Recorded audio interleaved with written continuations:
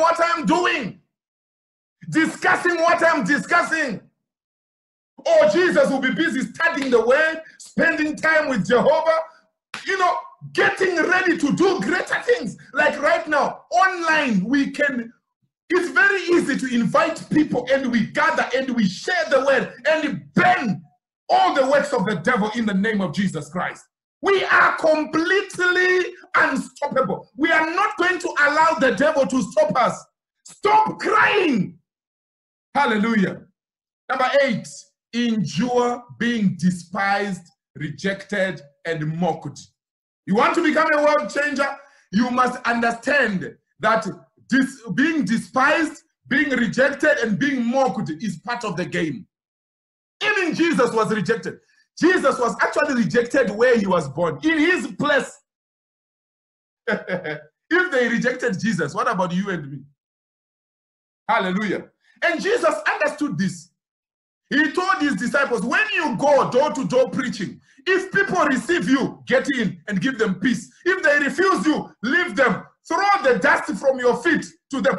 He was trying to say, you shall be rejected. And when you are rejected, keep moving. Hello? When you are rejected, keep what? Keep moving. You don't stop. Hallelujah. Glory to the living God. Matthew 27, verse 41 to 42. Likewise, also the chief priests mocking him with the scribes and the elders said, He saved others himself. He cannot save himself. If he be the king of Israel, let him now come down from the cross and we will believe him. He was being mocked, but he kept quiet. He knew what he was doing. The enemies thought Jesus was now out. They didn't know that he is actually conquering one step at a time. Hallelujah. Isaiah 53, verse 3 to 5. We despised him and rejected him. He endured suffering and pain.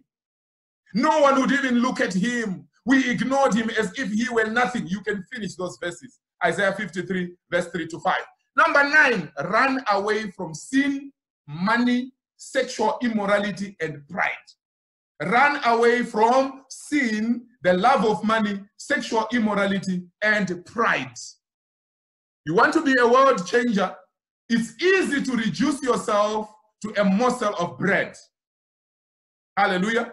It's easy to reduce yourself to a morsel of bread because you are living a life of sin.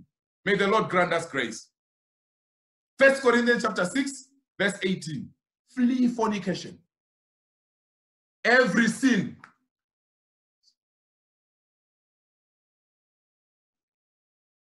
Hallelujah. Sorry for that. First Corinthians chapter 6, verse 18. Flee fornication. Every sin that a man doeth is without the body. But he that committed fornication sinneth against his own body. Second Timothy chapter 2, verse 3 to 4 says, You therefore must endure hardship as a good soldier of Jesus Christ. We have already talked about that one. First Corinthians chapter 6, verse 9 to 11. Know ye not that the unrighteous shall not inherit the kingdom of God? Be not deceived. Neither fornicators, nor idolaters, nor adulterers, nor effeminate, nor abusers of themselves with mankind. Hallelujah. Sinners will not enter the kingdom of God sinners will not be able to conquer the world. Verse 10 says, nor thieves, nor covetous, nor drunkards, nor revilers, nor extortioners shall inherit the kingdom of God. Hallelujah. And of course, Revelation 20, 21, verse 8 says, But the fearful and unbelieving, and the abominable, and the murderers, and the warmongers, and the sorcerers, and idolaters, and all liars shall have their part in the lake which burneth with the fire and brimstone, which is the second death. Glory to God. You want to conquer the world? Live a clean life. The Bible says, Be ye holy, for I am holy. Without holiness, no one will see God. Hallelujah. Number 10, endure false accusations. Do we have people who have ever been accused falsely that you did something that you didn't do. It's part of the game. It happened to Jesus, it will happen to all of us. Amen and amen. It happened to our master, it will definitely happen to all of us.